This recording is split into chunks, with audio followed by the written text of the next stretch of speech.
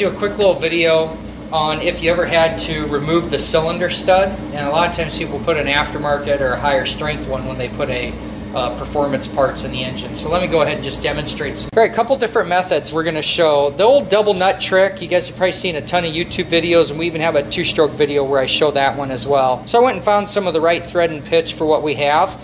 Upon looking for that, I realized that we actually even already had some that you saw in one of our other videos of our cylinder hold down tools. So if you remember in our series, one of the, I think video two or three, we show that. I could take, and these would normally be installed down like this. I could back up two of these, lock them together, and use them in that fashion as well. So I was just going to show you that, get you to kind of think outside the box. We'll start with the double nut here.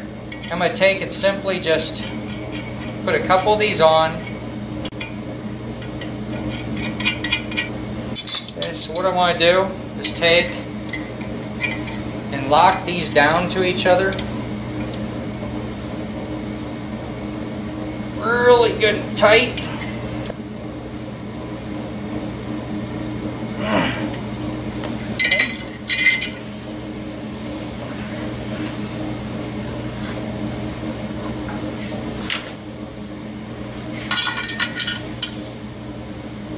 Yep, and that time it bit. You can see it's raising up here and then it's actually able to remove it.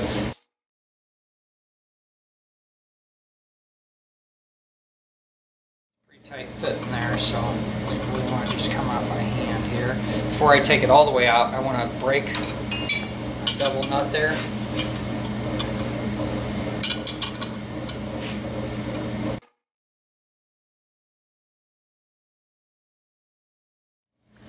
Get our new one. We're going to thoroughly clean this hole. We're thoroughly going to clean this and then we're going to reinstall it. All right, we're going to show you the installation process. On these, you can see we have the flange side that goes down. You will find some Harley motors where that's up, but to focus on this here, I'm going to put some Loctite. I do not want this guy coming out, okay? So the service manual says we can go ahead, get this started. Let's see how well this goes in by hand to speed it up a little bit for right now, I can go ahead and what I'm uh, going to do is I'm going to use my 12 point socket. I'm using a factory head bolt. And what they tell us to do is to go ahead and put a, a ball on here, like so. Here's a close-up of that steel ball I'm referencing, which is just simply a ball bearing. Put that steel ball with a head bolt on there. You can see it bottomed out. And then just copying the manual, they tell us we can go ahead and just kind of impact this down, okay? Okay. And use caution here. Notice I just slowly kiss it down, not attempting to torque it, just speed the process. Then on the final, it says we want to torque it between 15 and 20 foot-pounds. So we're going to use this digital wrench here. We're going to go ahead and torque this. And then we let it sit overnight to know that our stud is proper.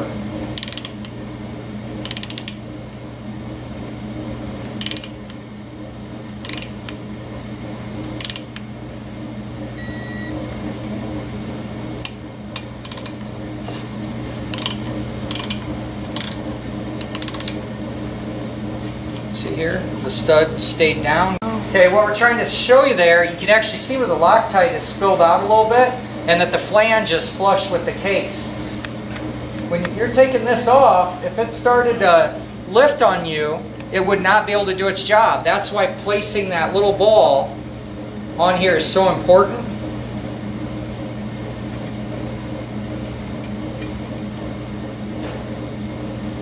Okay, because what happens is allowed it to spin to tighten down, but then upon removal, it allowed the head bolt to be able to lift right off, not changing the applied torque on this.